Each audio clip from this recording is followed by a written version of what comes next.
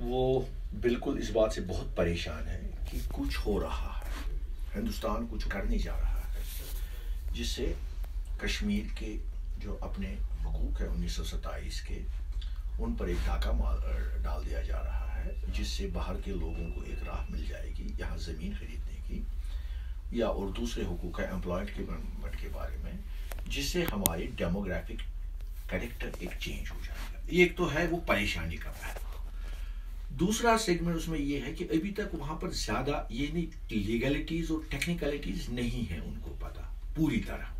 जो भी अखबारों में आता है, क्योंकि इट्स ये एक बिल्कुल ही कानूनी मामला है। मतलब इस कानून की जबान को सब तो नहीं समझ सकते। अब जिला में जाते हैं, गाँव में जाते हैं, वहाँ लोगों को अवेयर कर देते हैं। तो हम देखते हैं कि कानूनी जो है, इसमें उनका जो इलम है या उनकी जो नॉलेज है, वो अभी थोड़ी सी कम है। तो उनको हम ये कानूनी पहलू भी सादा जबान में अपनी जबान में समझाने की कोशिश करते हैं कि 35 ए जब उठ जाएगा तो किस तरह बाहर के लोगों को एक राह मिल जाएगी? ये खोलने की एम्प्लॉयमेंट के साथ आपके साथ compete करने की वो और स्कॉलरशिप और वोटिंग जो भी है जो जो भी इसके पहलू है वो हम इनको समझाने की कोशिश कर रहे हैं। तासुर हमारा यही है कि लोग बहुत ही एंथुसिस्टिक है बहुत ही वो चाहते हैं परेशान भी है और वो किसी भी हद तक जाने को तैयार है यूनाइटेड एक इसमें रेजिस्टेंस में एक वो किसी भी हद तक जाने को तैयार है। और मेरा हमारा ये तासुर है कि वो किसी भी अगर खुदा ने खासा कुछ हो गया तो वो सड़कों पर आ जाएँगे और एक बहुत बड़े प्रॉब्लम खड़ी हो जाएगी जिसको कंट्रोल करना मुश्किल हो जाएगा चाहे स्टेट गवर्नमेंट हो चाहे सेंट्रल गवर्नमेंट ये हमारा तासुर है। बिल्कुल कोशिश हो रही है। लास्ट टाइम वो एक सिखों का लीडर है, नरेंद्र खालिसा। वो इंटेलेक्चुअल सर्कल है सिखों का। मैंने उसके ज़रिए उन मतलब उनको एक्टिवेट किया और उन्हें बहुत सारे बहुत सारे ग्रुप्स और पार्टी साथ लाई। और परेड ग्राउंड में उनका बहुत बड़ा सेमिनार भी हुआ। उसमें बहुत सारे लोगों ने अपनी राय का इजहार किया और ये कहा कि इसको हम किसी भी सूरत में हटने नहीं देंगे। ये शब खून कर रहा है हिंदुस्तान।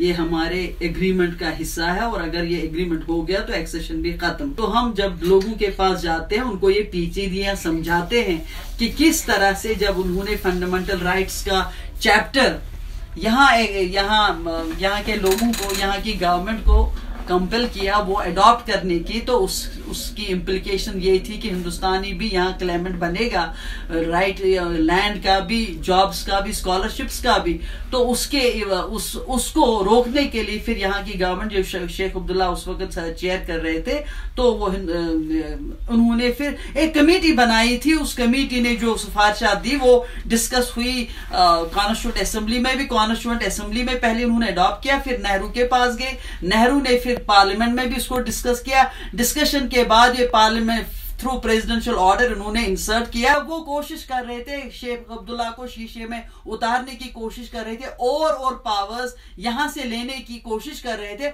उस वक्त वो अवेयर हुए कि अगर ये फंडामेंटल राइट्स का चैप्टर हमने अडॉप्ट किया, इसकी इम्प्लीकेशन ये है कि वो दावेदार बनेंगे यहाँ लैंड के भी नौकरियों के भी सब कुछ। तो उस वक्त उन्होंने बड़ा एक कमेटी बनाई। उस कमेटी ने फिर सजेस्ट किया कि जो हमारा यहाँ hereditary subject state subject law जो हरि सिंह ने बनाया था 1927 में, और that was in response to Pandit and Dogra agitation उस वक्त उनकी जॉब जा रही थी पंजाबियों के हाथ में, और वो यहाँ बस रहे थे, और इकोनॉमिक उन्होंने यूनिट्स खड़ा किए थे, दुकानें वगैरह। तो उस वक्त उनको खदशा था कि हम ओवरवेलम हो जाएँगे, हमारे पास कुछ नहीं रहेगा। तो इस वक्त उन्होंने एजुटेशन चलाई थी।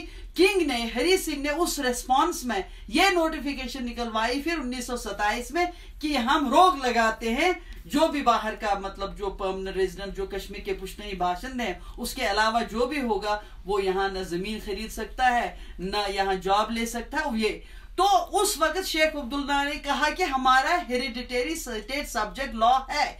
इसको अपने प्रोटेक्शन फराहम करना है। इसलिए आर्टिकल 37 ए सिर्फ़ एक प्रोटेक्टिव आर्टिकल है, कोई सबस्टैंशियल नहीं है। यह वो अपने ही स्टूडेंट्स को रोक लगाते हैं कि यहाँ, आप नहीं ले सकते। हैं इसलिए उन्होंने इसके ज़रिए हमें कुछ नहीं दिया, बल्कि जो हमारी रेजिडुअल सॉवरेंटी थी, उसको तहफ़ फराम किया। ये वाजे होना चाहिए। हिंदुस्तान ने हमको कोई स्पेशल पोजीशन नहीं दी थी, बल्कि हमसे पावर्स लिए थे, लेकिन जब वो आगे आगे बढ़ रहे थे, यहाँ की गवर्नमेंट ने उसको रोक लगाया। उन्होंने डिस्कस किया कॉन्स्टिट्यूंट असेंबली में भी फिर ये जो मतलब एग्रीमेंट हुआ, ये यहाँ के कॉन्स्टिट्यूशन में भी शामिल हुआ और हिंदुस्तान के कॉन्स्टिट्यूशन में थ्रू प्रेसिडेंट क्योंकि हिंदुस्तान, हिंदुस्तानी पार्लियामेंट को कोई इख्तियार नहीं था कश्मीर पर कोई लॉ बनाने की। लेकिन थर्टी थ्री सेवेंटी का जो कलाज वन है by virtue of that presidential order निकालते लेकिन प्रायर कॉन्फ्रेंस पहले कॉन्स्टिट्यूंट असेंबली की। So prior conference constituent assembly की थी, तब उन्होंने वहाँ उसमें इसलिए जो इनके सारे आर्गुमेंट्स है they are false they are fictional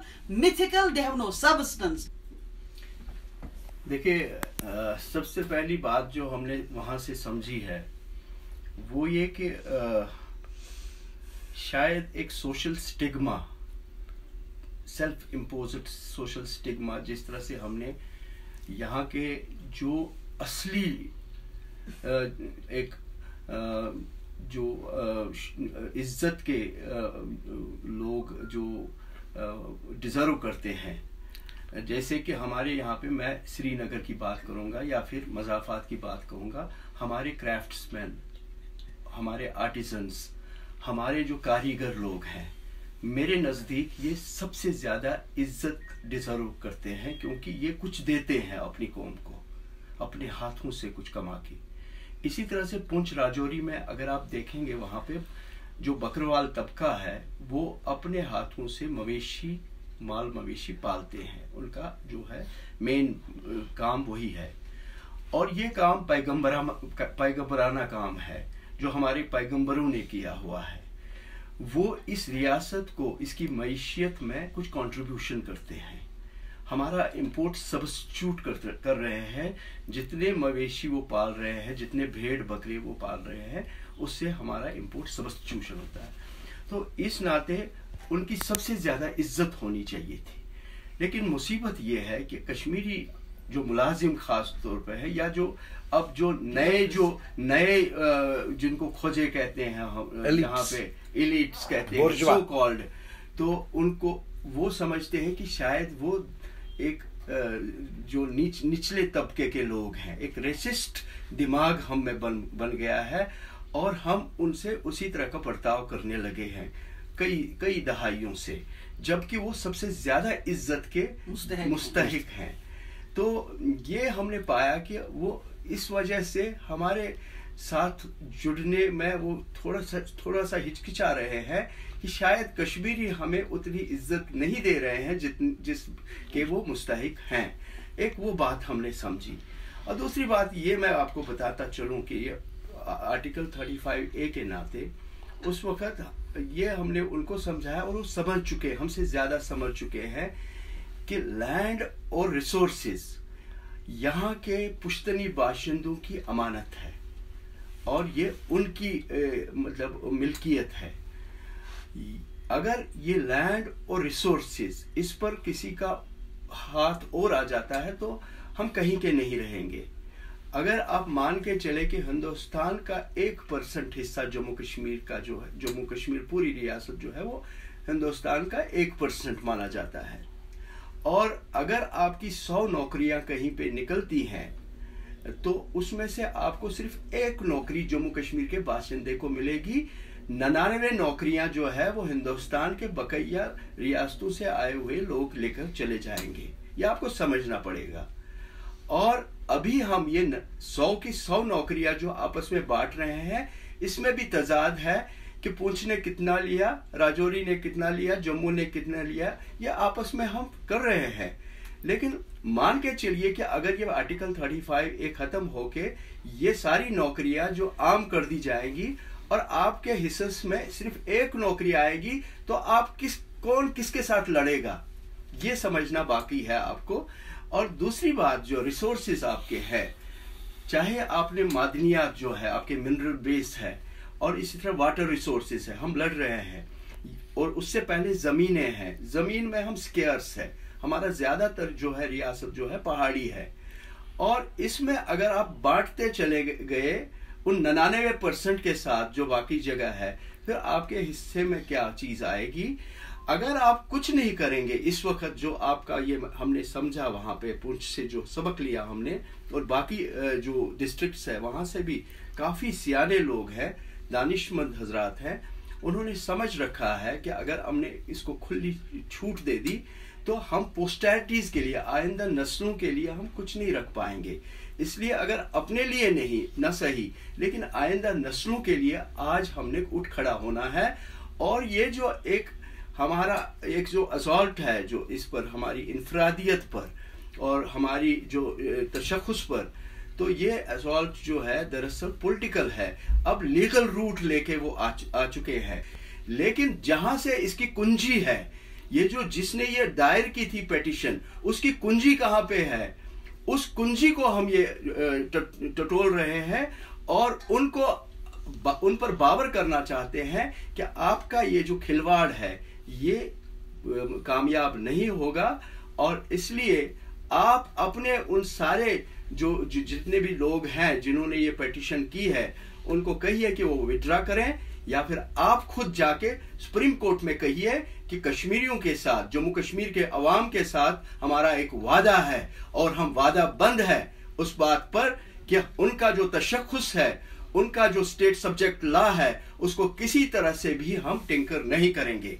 और अगर वो करते हैं तो वो उस वादे खिलाफ, वो उस वादे की खिलाफ वर्जी करते हैं जो वादा उन्होंने किया है। एक बात मैं कहना चाहती हूँ, वो ये है कि हम एक यूनिक कम्युनिटी है पूरे बरसगीर में।